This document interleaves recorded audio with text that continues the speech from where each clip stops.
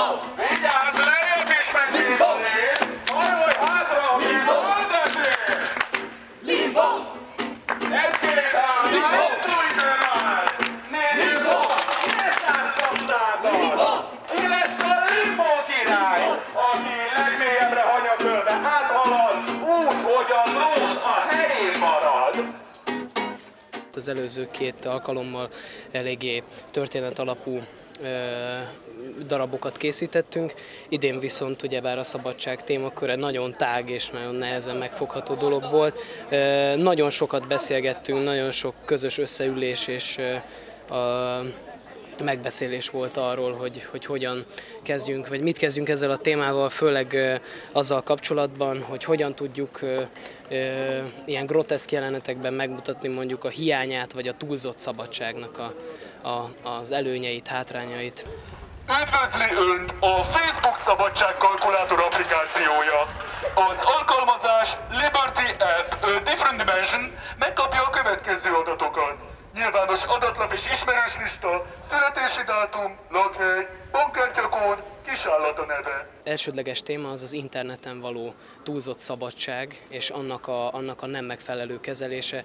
Nagyon, nagyon sok probléma van jelenleg, jelenleg a, a hogy, hogy teljesen magányba zárja, tehát a túlzott szabadság ellenére teljesen magányba zárja az internet az embereket, és napi több órát töltenek azzal, hogy a számítógép előtt az interneten böngésznek. Az online pornó, vagy, vagy különböző olyan oldalak, amelyek, amelyek negatívan befolyásolják a fiatalságot is nagyon károsak. És ez is a túlzott szabadságnak például egy, egy hihetetlen előnytelensége, hogy semmilyen semmilyen korlátozás nincs ezekre vonatkozóan. Nem szeretne fürdeni, a hajmosás meg egyenesen rühellék!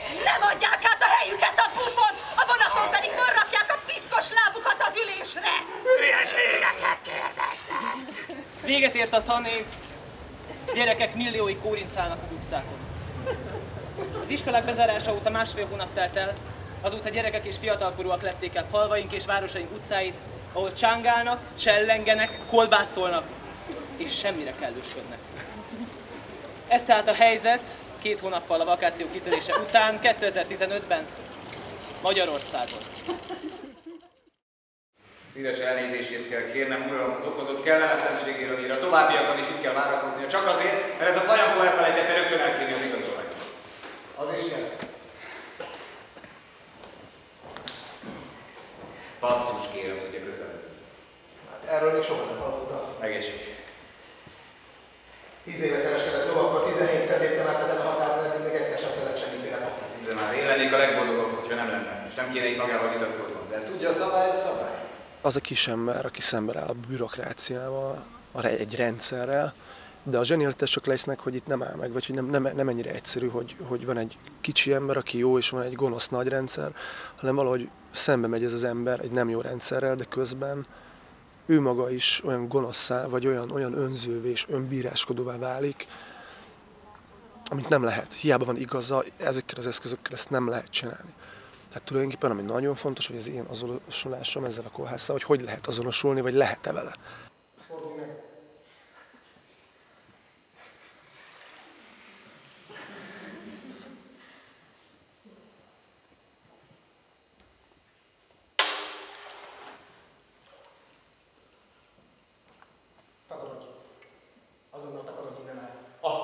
Önként adták. Nem vagyunk tolvajok. De hát éhesek vagyunk. Olyan vagy, mint akik ellen harcolunk.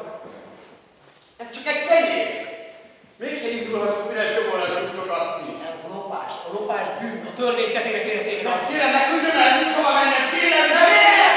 Nekem kell téged megbüntetni, nehogy az egész időnket mocskold be. Ezen a fán fogsz lógni. Elmentetés, minden senki háznak. Tudja meg az egész világ kolház világ, nem csak az ellenségeinek, de a saját embereinek sem tűnni a jogtalanságot. Fogjátok. Uram! Gyerünk már, fogjátok meg!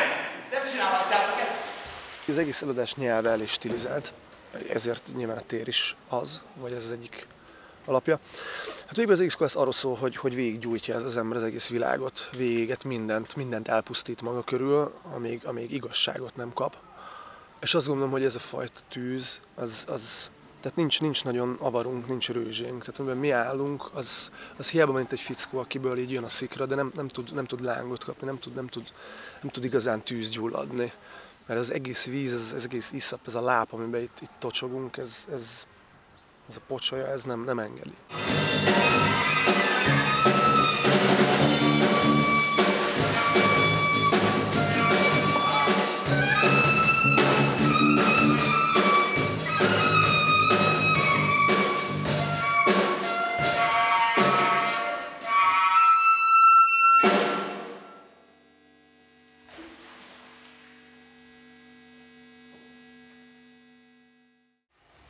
Itt nyugszik.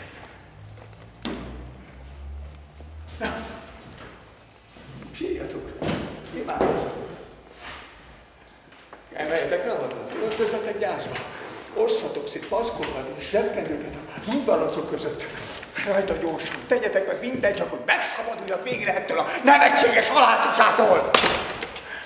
Körkörösen változik, illetve hát ismétlődik a dolog. A király különböző feladatokra kényszeríti a bolondot, egyre durvább feladatokra, és, és hát szépen lassan tudjuk meg, hogy ennek mi az oka. Ugye hát vehetjük úgy, hogy egy bolondnak az a, a feladat, hogy szórakoztasson, de itt már az erejétől fogva van egy szándékoltság a király részéről, egy forszírozottság, hogy, hogy az udvari bolondot jó kedvében lássa, amikor hát nyilván ő siratja a haldokló szerelmét. A pénzem nincs egy fasam, senkiles, és reggel köszönök jó éjszakát. Megfogad és kit a szép a világ, megfogad és kit a szép a világ. Tulajdonképpen itt egy, egy, egy lepusztult királyi palotában, egy trónteremben játszódik amúgy, és hát ez, ez remek, remek volt ez a szakrális tér tulajdonképpen. Nekünk ez egy jól esett. Hangosabban! Azt akarom, hogy a palota legtávolabbi zugába is elhallatszom.